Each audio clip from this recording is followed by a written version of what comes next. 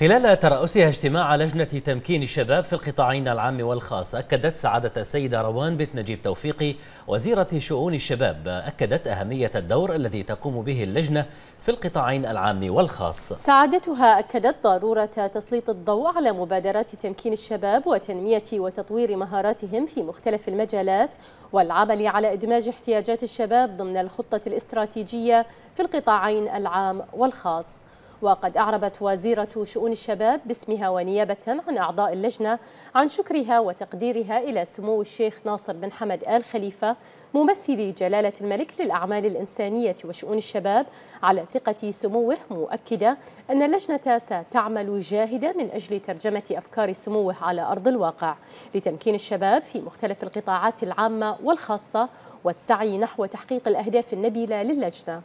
وخلال الاجتماع تمت مناقشة النقاط المدرجة على جدول الأعمال والاطلاع على قرار تشكيل اللجنة إضافة إلى مناقشة مشروع مساري واستحداث جائزة للجنة.